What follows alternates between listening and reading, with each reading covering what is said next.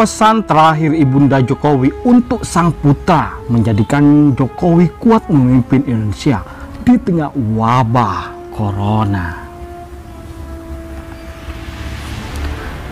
Kabar duka datang dari keluarga Presiden Joko Widodo Ibunda Jokowi Sujiatmi Notomi Harjo menghembuskan napas terakhirnya pada 25 Maret 2020 kemarin. Kabar duka ini pertama kali dibagikan oleh Menteri Desa Pembangunan Daerah Tertinggal dan Transmigrasi Budi Aristiadi. Innalillahi wa inna ilaihi rajiun. Eyang Notomi Harjo ibunda Bapak Presiden wafat di Solo pukul 16 lewat 45 menit waktu Indonesia bagian Barat tadi. Mohon doanya semoga almarhumah Husnul Khotimah ujar Budi Ari Ibunda Jokowi meninggal dunia di Rumah Sakit DKT Slamet Riyadi Surakarta. Sejatinya Noto Miharjo wafat di usia yang ke-77 tahun. Joko Widodo diketahui belum tiba di Solo karena masih berada di Istana Negara pada saat itu. Pada saat wafatnya ibundanya Sujatmi.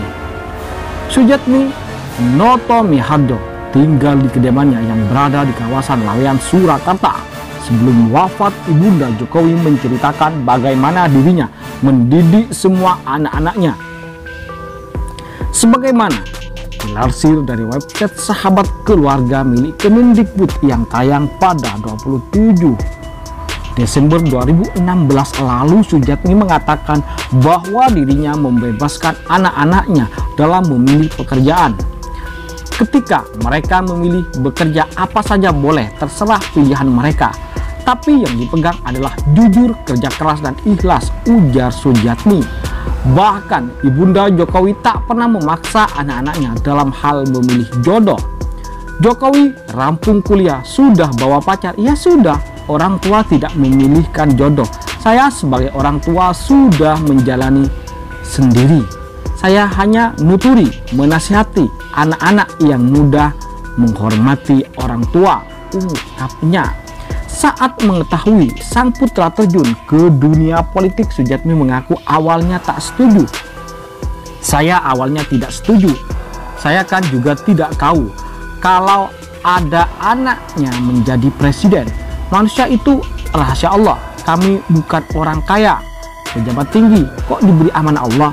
Yang penting jalankan betul-betul amanah, tegasnya Sifat sederhana yang terlihat dari Jokowi diketahui berasal dari sang ibunda.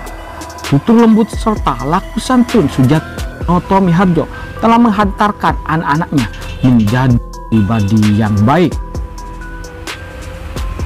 Joko Widodo juga selalu mengingat pesan dari sang ibundanya.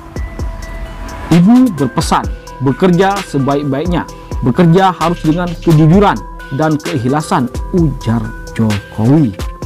Jokowi pun mengaku kalimat itu adalah pesan seumur hidup dari Sujatmi Noto Miharjo untuknya. Itulah guys pesan terakhir Ibunda Jokowi untuk sang putra dalam memimpin Indonesia ini menjadi lebih baik. Lalu bagaimana menurut kalian guys terkait hal ini? Jangan lupa kalian komentar di bawah, like dan subscribe. Terima kasih telah menonton.